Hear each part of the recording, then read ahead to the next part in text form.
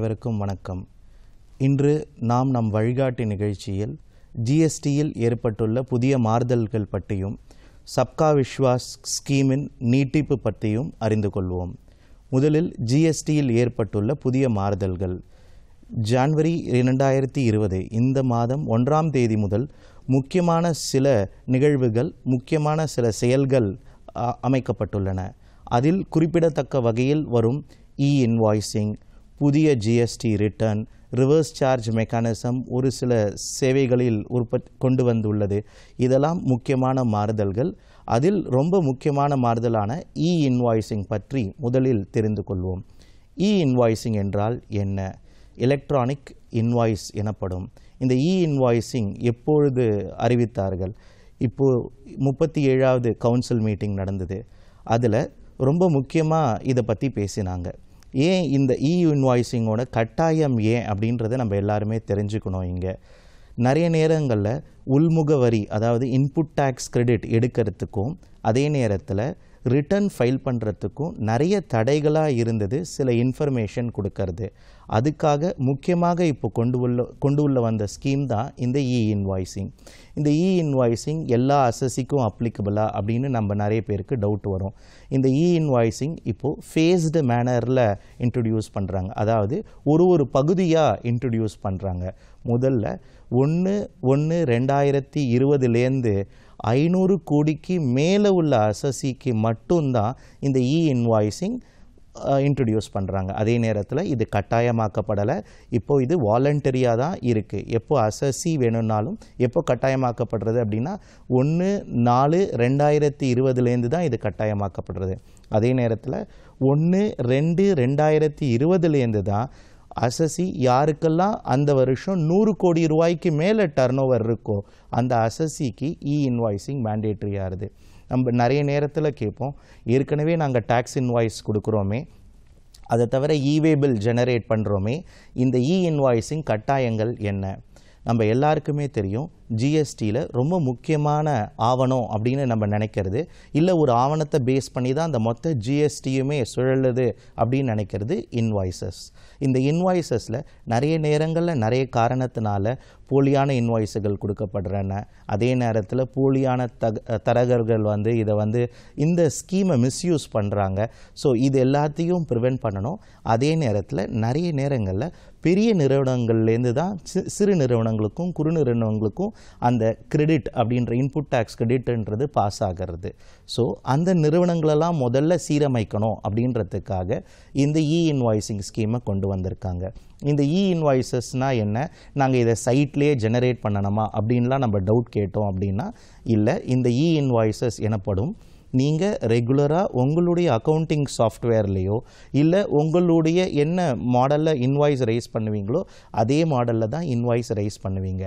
Rice பண்ணிவிட்டு ஒரு சில இன்ஃபர்மேஷனை இந்த இன்வாய்ஸ் ரெஜிஸ்ட்ரேஷன் போர்ட்டல் அப்படின்ற இணையதளத்தில் இந்த இன்ஃபர்மேஷனை கொடுக்கணும். நாங்கள் என்னங்க இன்ஃபர்மேஷன் கொடுக்கணும் அப்படின்னு கேட்டோம்னா date of invoice invoice number என்ன பொருளை நம்ம விற்பனை பண்ணுறோம் அதே நேரத்தில் அந்த பொருளோட குவாண்டிட்டி என்ன விலை என்ன இப்படின்ற இந்த பேசிக்கான இன்ஃபர்மேஷனை அவங்க அப்லோட் பண்ணால் அந்த சைட் இன்வாய்ஸ் ரிப்போர்ட்டிங் போர்ட்டல் எனப்படும் ஐஆர்பி இந்த இன்வாய்ஸ் ரிப்போர்ட்டிங் போர்ட்டல்லேருந்து ஒரு இன்வாய்ஸ் ரெஃபரன்ஸ் நம்பர் தரப்படும். இந்த இன்வாய்ஸ் ரெஃபரன்ஸ் நம்பர் ஆனது அவங்க அவங்களுடைய இன்வாய்ஸில் அட்டாச் பண்ணிவிடுவாங்க இல்லை மென்ஷன் பண்ணிவிடுவாங்க ஸோ தட் இந்த இன்வாய்ஸ் நம்பரை போட்டால் எல்லாராலையும் அந்த இன்வாய்ஸ் என்ன அந்த பொருள் என்ன அப்படின்றத கண்டுபிடிச்சிக்க முடியும். அதே நேரத்தில் இவே பில் ஜெனரேட் பண்ணுறதோ இல்லை ரிட்டர்ன் ஃபைல் பண்ணுறதோ இதனால் ஈஸியாக்கப்படுறது அதாவது ஒரே டேட்டாவை யூஸ் பண்ணி அந்த எந்த யார் பர்ச்சேஸ் பண்ணுறாங்களோ இந்த பொருட்களை எப்போதுமே ஒரு பெரிய நிறுவனத்துலேருந்து இன்னொரு ஒரு சிறிய நிறுவனத்துக்கு தான் பொருட்கள் மாற்றப்படும் ரொம்ப ரொம்ப ரேராக தான் ஒரு பெரிய நிறுவனத்துலேருந்து ஒரு எண்டு கன்சியூமருக்கு பொருட்கள் விற்கப்படும் இதை எப்போதுமே பி டு பி அப்படின்னு சொல்லுவோம். இந்த பி டு பி கேசஸ் எல்லாத்தையுமே கேர்டேக் பண்ணுறதுக்கு தான் நம்ம இ இன்வாய்ஸஸ் கொண்டு வந்திருக்கோம். அண்ட் இந்த இ இன்வாய்சஸை கவர்மெண்ட் இப்போது ஒரு ட்ரையல் மோடில் அன் இன்ட்ரடியூஸ் பண்ணியிருக்காங்க. எல்லா அசஸியும் இதை யூஸ் பண்ணி பயன்பட்டுருக்கலாம். இந்த இ இன்வாய்ஸஸை நாங்கள் எப்படி ஜெனரேட் பண்ணணும் அப்படின்றத பற்றி நமக்கு சந்தேகம் இருந்தால் W W W dot e invoice dot GOV dot IN அப்படின்ற இணையதளத்தில் போய் நம்ம இந்த இன்வாய்ஸஸ் ரைஸ் பண்ணிக்கலாம். இந்த இ இன்வாய்ஸஸ் ஒன்று அப்படிலேருந்து பத்து வரைக்கும் இணையதளம் இருக்குது ஸோ ஒன்று இணையதளம் பிஸியாக இருந்ததுன்னா ரெண்டாவது இணையதளத்தை யூஸ் பண்ணிக்கலாம். ஸோ இது மாதிரி இருக்குது நம்ம எல்லாருமே எந்தெந்த எ- எந்தெந்த நிறுவனங்கள்லாம் நூறு கோடியோ இல்லை இரநூறு கோடியோ அதுக்கு மேலே தாண்டுதோ அவங்க எல்லாரும் யூஸ் பண்ணிக்கலாம். அதே நேரத்தில் மற்ற சிறு சிறு நிறுவனமோ இல்லை குறு நிறுவனமோ இவங்கெல்லாமும் என்ன இன்சிஸ்ட் பண்ணலாம் இல்லை இதை எப்படி பற்றி பண்ணுறதுன்றத தெரிஞ்சு வச்சுக்கலாம். இ இன்வாய்ஸஸ்க்கு அப்புறம் இன்னொரு ஒரு முக்கியமாக சேஞ்ச் அப்படின்னு நம்ம பார்க்கப்படுறது இந்த தடவை input tax credit input tax கிரெடிட்டில் வந்த மாறுதல்கள். அதாவது இவ்வளோ நாளாக நம்ம எல்லாருக்குமே தெரியும் ஜிஎஸ்டியில் ஒரு அசசி ஒரு பொருட்களை பர்ச்சேஸ் பண்ணும்போது அந்த பர்ச்சேஸோட டேக்ஸ் இன்வாய்ஸ் இருக்கும். அந்த டேக்ஸ் இன்வாய்ஸை பேஸ் பண்ணி அவர் கிரெடிட் எடுத்திருந்தார். அதே நேரத்தில் எடுத்த கிரெடிட்டை அவர் ஜிஎஸ்டிஆர் த்ரீ பி அப்படின்ற ரிட்டர்னில் படிவத்தில் ஃபில் பண்ணி அவர் கிரெடிட் எடுத்துக்கலாம். நிறைய நேரங்களில் இது என்ன தெரிஞ்சுது அப்படின்னா இது எல்லா வளர்ந்த நாடுகள்லேயும் இருக்குது ஏற்கனவே ஜிஎஸ்டி இம்ப்ளிமெண்ட் பண்ண கண்ட்ரி எல்லாத்துலேயுமே இருந்தது. அதாவது நிறைய பேர் இதை மிஸ்யூஸ் பண்ண ஆரம்பிச்சிட்டாங்க.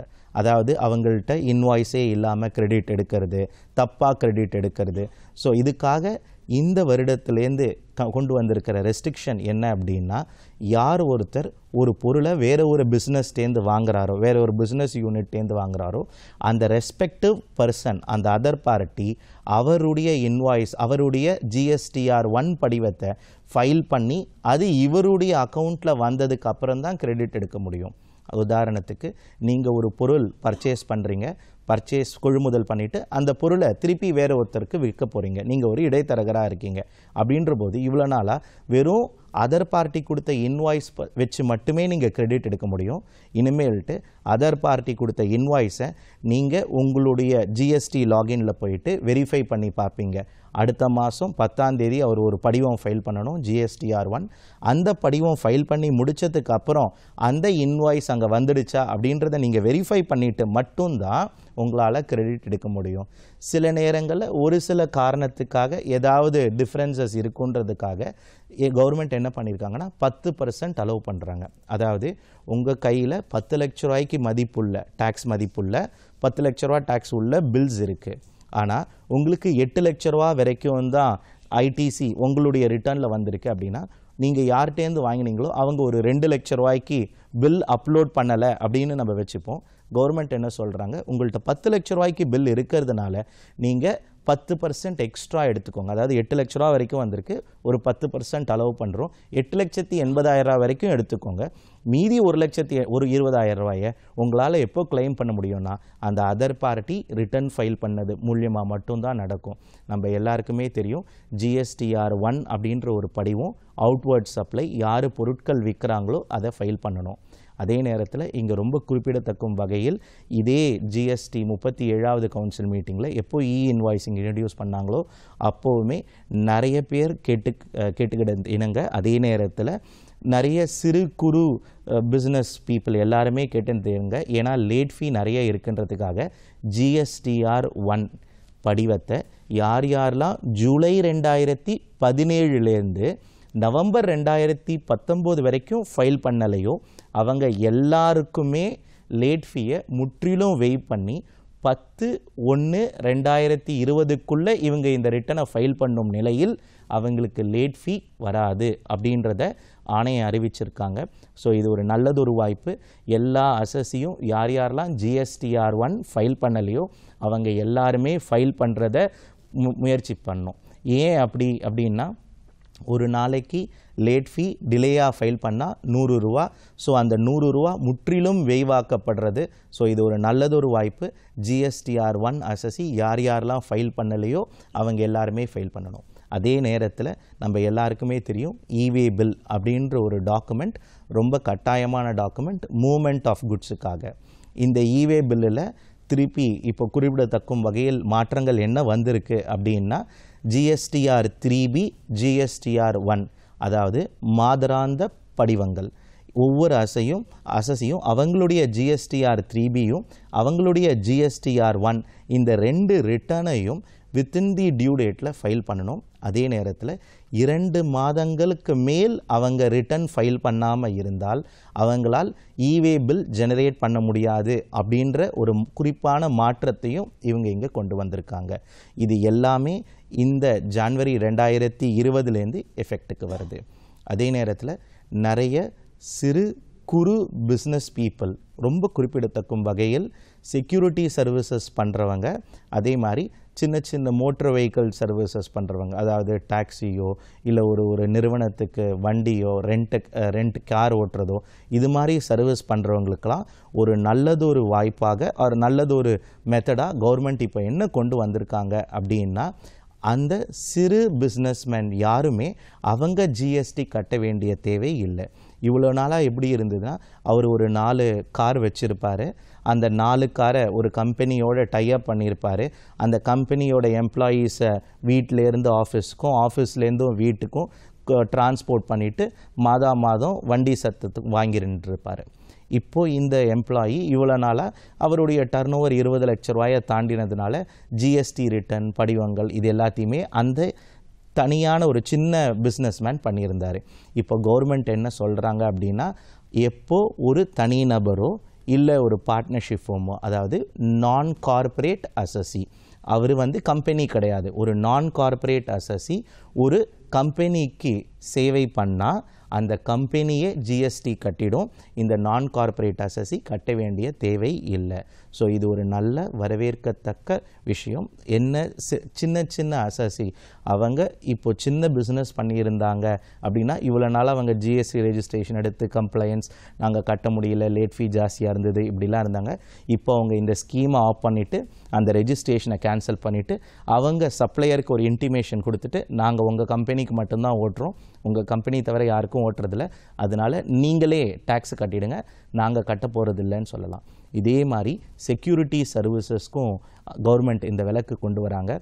எப்போ? ஒரு நான் கார்ப்பரேட் செக்யூரிட்டி சர்வீசஸ் அது ஒரு தனியார் நிறுவனமாக இருக்கும். கம்பெனி கிடையாது. அவங்க ஒரு இண்டிவிஜுவல் ஒரு இருபது பேரை வச்சு செக்யூரிட்டி சர்வீசஸோ இல்லை ஐம்பது பேரை வச்சு ஒரு பார்ட்னர்ஷிப் ஃபார்ம் செக்யூரிட்டி சர்வீசஸோ பண்ணி அந்த செக்யூரிட்டி சர்வீஸ் பண்ணுறவர் வேறு ஒரு ரெஜிஸ்டர்ட் ஜிஎஸ்டி ரெஜிஸ்டர் பண்ண அசசிக்கு சேவை பண்ணும்போது அந்த ரெஜிஸ்டர்ட் பண்ண அசசி ரிவர்ஸ் சார்ஜில் டேக்ஸ் கட்டுவார் அப்படின்ற சட்டத்தை மாற்றிருக்காங்க இது எல்லாமே போன வருஷம் அமலாக்க வந்துடுச்சு. அதுக்கான கிளாரிஃபிகேஷன்ஸும் இப்போ ரொம்ப ரீசண்டாக கொடுத்து எல்லாமே ஜனவரி இருபது இருபதுலேருந்து இது எல்லாமே ஒரு சிறு குறு பிஸ்னஸ் பண்ணுறவங்க எல்லாருக்குமே இது ஒரு வரவேற்கத்தக்க விஷயமா இருக்கும். அதே மாதிரி நம்ம எல்லாருக்குமே தெரியும் ஜிஎஸ்டியோட புது ரிட்டர்ன் எல்லாருக்குமே ஒரு கேள்வி வரும் ஏற்கனவே ஜிஎஸ்டி ரிட்டர்னில் பல மாறுதல்கள் வந்து இப்போது நாங்கள் கரெக்டாக ஃபைல் பண்ணிட்டு இருக்கோம் இப்போ எங்களுக்கு புரிஞ்சிடுச்சு GSTR one GSTR three B அப்படின்ற படிவங்களை மாதம் மாதம் ஃபைல் பண்ணணும். ஸோ இது இப்போ கரெக்டாக செட் ஆகிருக்கு அப்போ ஏன் மாற்றம் வேணும் அப்படின்னு?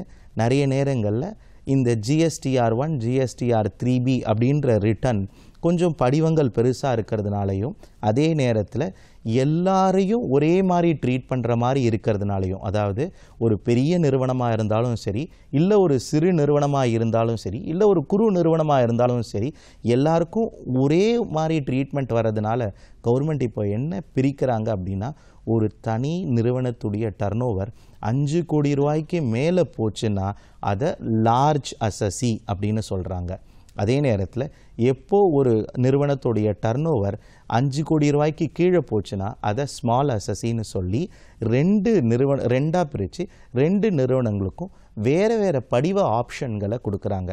அதாவது எந்த ஒரு அசசிக்கு டர்ன் ஓவர் அஞ்சு கோடி ரூபாய்க்கு கீழே இருக்கோ அவங்களுக்கு சுகம் சஹஜ் அப்படின்ற ரிட்டன் பேர் கொண்ட ரிட்டன் அது எல்லாமே ரொம்ப சகஜமாக இருக்கும் ரிட்டன் அதே நேரத்தில் சுகமாக இருக்கும்.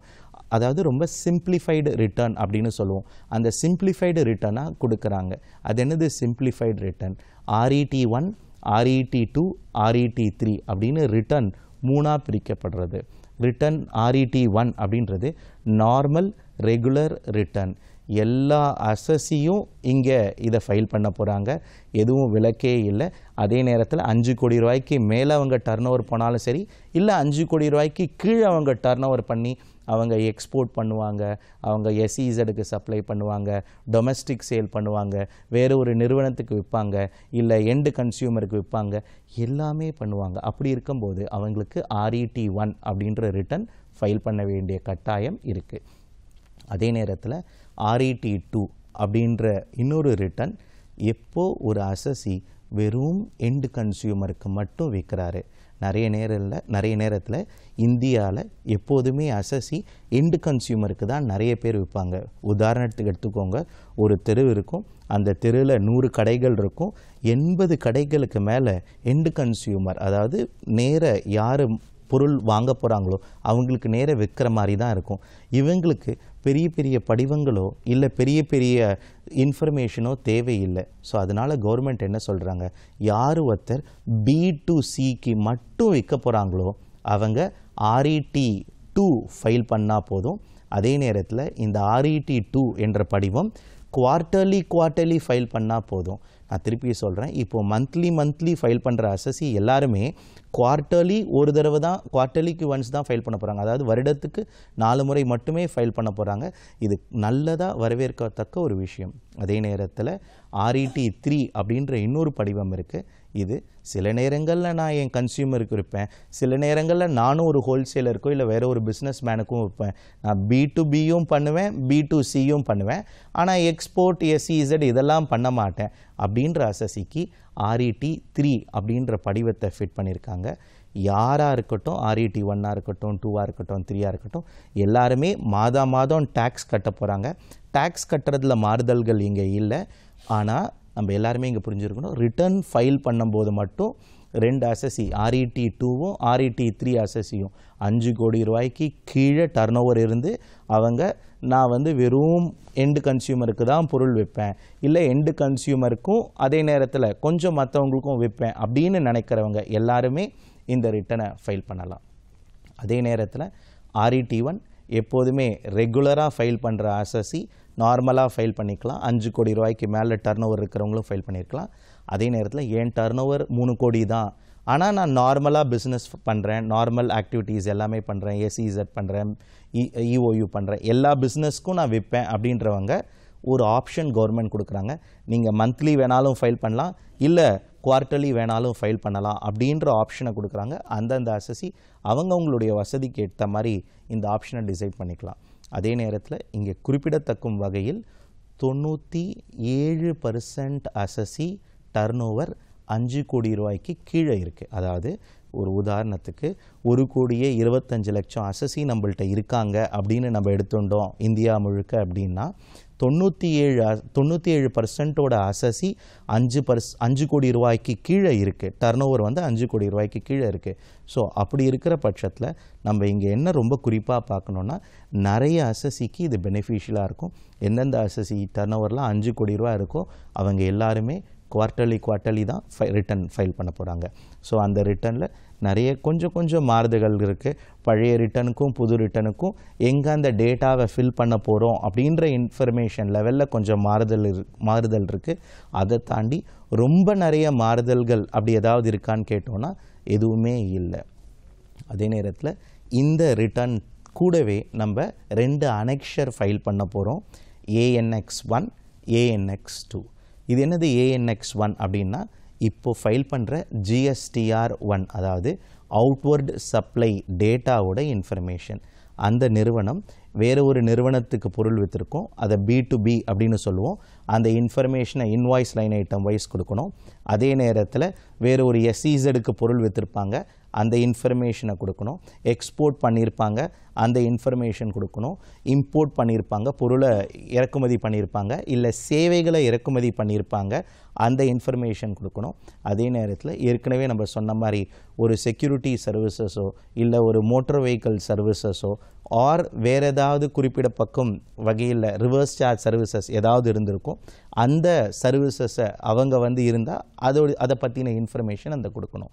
ஸோ ரொம்ப குறிப்பாக ஏஎன்எக்ஸ் ஒனில் என்ன சேவை பண்ணியிருக்காங்க என்ன சேல் பண்ணியிருக்காங்கன்ற இன்ஃபர்மேஷன் மட்டும் கொடுத்து அதை அப்லோட் பண்ணால் ஆட்டோமேட்டிக்காக ஆர்இடி ஒன் இல்லை ஆர்இடி டூ இல்லை ஆர்இடி த்ரீ அவங்க என்ன பிஸ்னஸ் பண்ணுறாங்களோ அதுக்கேற்ற மாதிரி இருக்கிற டேக்ஸ் கேல்குலேஷன்ஸ் ஆட்டோமேட்டிக்காக நடக்கும்னு சொல்லியிருக்காங்க.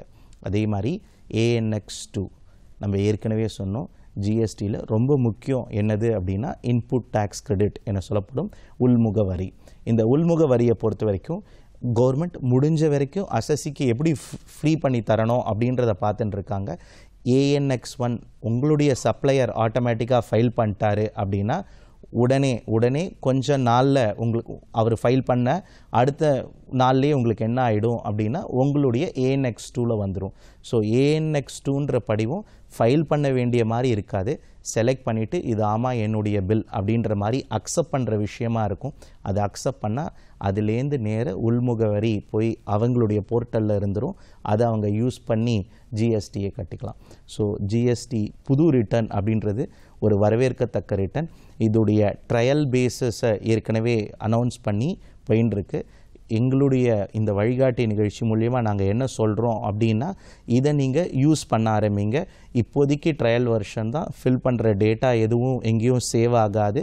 அதே நேரத்தில் அவங்க அவங்க அவங்க அதை யூஸ் பண்ணி அவங்களுக்கு என்ன கஷ்டங்கள் இருக்கோ மாதாந்திரம் கவர்மெண்ட் மீட்டிங் நடத்துகிறாங்க அவங்க அவங்க ஜூரிஸ்டிக்ஷனலோட கமிஷனரேட்டில் ரிட்டர்னுக்காக நம்ம பாரத பிரதமரின் வேண்டுகோளுக்கு இணங்க அதே நேரத்தில் நம்ம ஃபினான்ஸ் மினிஸ்டர் நிர்மலா சீதாராமன் அவர்களுடைய இன்ஸ்ட்ரக்ஷன் படி ஒவ்வொரு கமிஷனரேட்டிலையும் மாதந்தோறும் ஒரு கூட்டம் நடக்குது.